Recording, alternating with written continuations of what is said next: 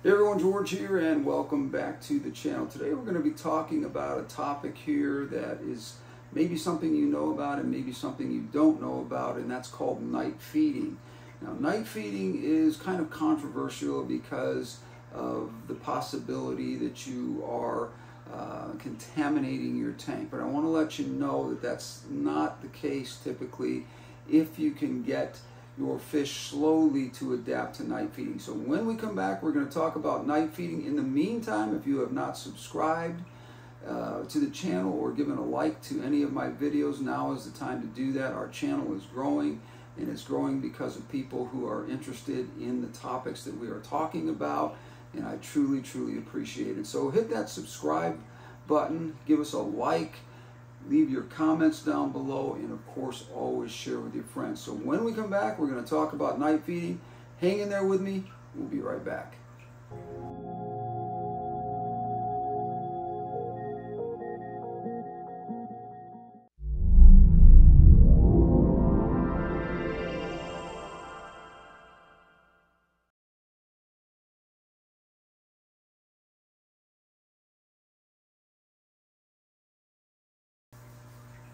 As I said in the intro, welcome back to the channel and I appreciate you being here. Now there's a reason why the lights are down so low and I hope that you can uh, see me here. I tested this out a little bit. You should be able to see me pretty well.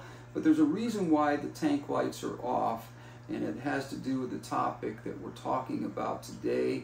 And uh, hopefully this is going to help many of you who ask me all the time George, I'm frustrated. I don't know how to get my new discus to eat, and they're intimidated. They don't come out, but I see them wandering around the tank at night, and uh, you know, but during the day when the lights are on, or if I turn the lights on in the tank, I see them disperse, go to their hiding places in the tank, especially if you have a tank that's a well-planted tank like this one is here uh, there's a lot of places for discus to hide. Now this is kind of, an island type uh, scape here, so we don't have a ton of hiding places, but we have just enough where smaller discus like these 2.5s or 3 inch discus can hide, and that's one of the things that you're going to have a problem with. Now if you notice, if you leave a small light on, now I have the luxury of having these built-in LEDs at the top here that when I turn out all the rest of the lights or there's just enough light that filters down to keep these fish active all night long. And that's not a problem for them. Eventually you're going to quit doing that, but to get your fish to eat is what we are trying to accomplish here. Now, the reason why these fish move around and are not so stressed out or not willing to uh, come out and uh, move around the tank and explore the tank a little bit more is because when you put new discus in a tank, now these were all added at this approximately the same time, within two or three days of each other. Um, this is, as I mentioned in my previous video, a tank now that I'm going to be using for all new discus that I get. And we're going to raise them up in here until they're big enough and they're doing all the things they're supposed to be, such as eating, the pecking order is out of the way, and all of those kinds of things where the fish are um, well established and uh, you can move them to their larger tank or their permanent tank, I should say. And uh, this is something uh, that uh, is a problem, uh, and that is getting your fish to eat. And that is the number one thing we want to do is get those fish eating right away because fish that are eating are going to be less inhibited by the other tank mates in the tank. And uh, if you uh, can't get them to do that during the day with all the lights on in the tank. Uh, trying to turn the lights off during the day and having all the activity in the room and that sort of thing is not going to help things. But I do have a hack for you that really is helpful, and that is leaving these small lights on and all the rest of the lights in your studio or in your uh, fish room, or if you just have one tank, uh, leaving a small light on in an area that is going to give enough light to the tank to keep the fish alert and not sleeping, but give them an opportunity to sort of wander the tank and kind of explore the tank a little bit and uh, not be intimidated. Now, if you have a sick fish, that's a whole nother thing here. If you have a fish that is not doing well because it has problems such as gill flukes or has an internal parasite or things like that, those are things that you are going to have to fix before you ever get your fish to eat. Sometimes uh, it uh, takes a while uh, to uh, get those fish figured out, and once you do, what my recommendation is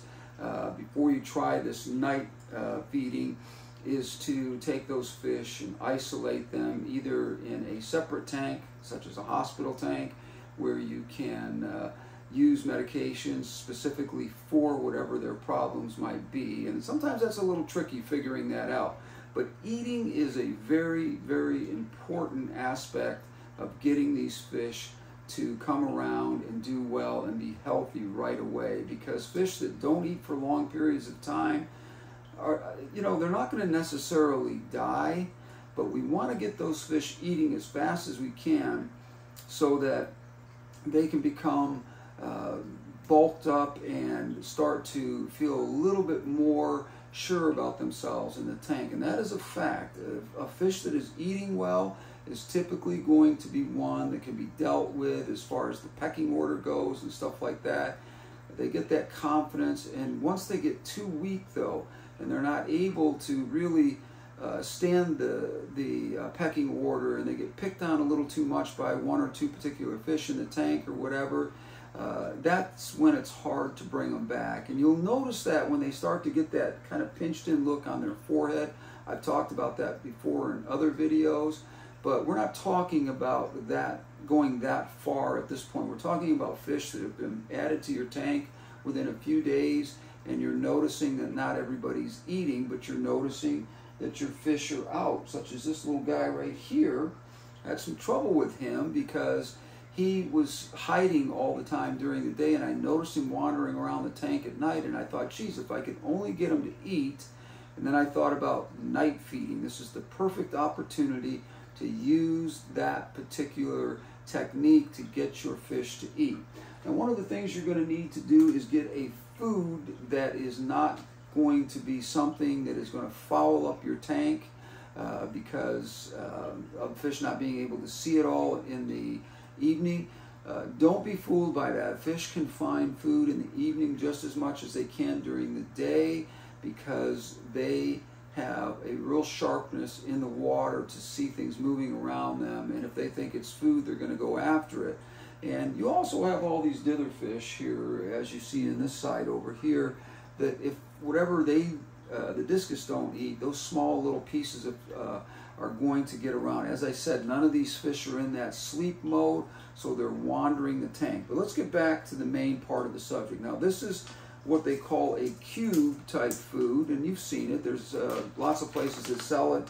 I like this particular one put out by Super Cichlids. I'm not trying to promote them or anything like that, but this is a food that really, really works great for me because it is 100% pure freeze dried um, black worms, and uh, they're uh, freeze dried in a way that there's absolutely nothing in there that can hurt your fish whatsoever. Blackworms are not known for typically hurting your fish even when they're alive, but this freeze dried product I have found is an absolutely fabulous product. This comes in a couple of different varieties, some with garlic enhancements so that you can uh, get your fish to smell that garlic in the water. We've all used that technique to try to get fish to eat. But this is a great and a fantastic little food because what it does is it gives those fish that are slightly intimidated during the day, as I said, an opportunity to come out when they are like this at night, as you see, and come up and do a feed that they normally would not do. Now, what happens is once you do that, and you've done that for a week or two, your fish, as you gradually turn the lights up gradually on your tank until you get to the point where your tank lights are on as they normally would be, you'll find that these fish just adapt and start to eat normally. Now again, as I said, a disclaimer on this is not for fish that are sick or dying with other problems. As I said, if they get that pinched in look around their forehead, there's something else going on, and that's probably some kind of an internal parasite that has not been treated or gill flukes that are just bothering them so much that they just will not eat. So uh, make sure you've got all those things out of the way. Now let's get back to how I do this. Now these come, I'm going to get you a cube here and I'm going to show you.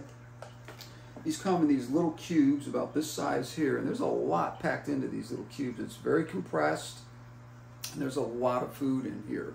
So I've already fed these fish this evening. I'm using this technique on this particular tank because as I said, I have a few of these 2.5s or 3 inch discus that are just not eating the way I would like them to.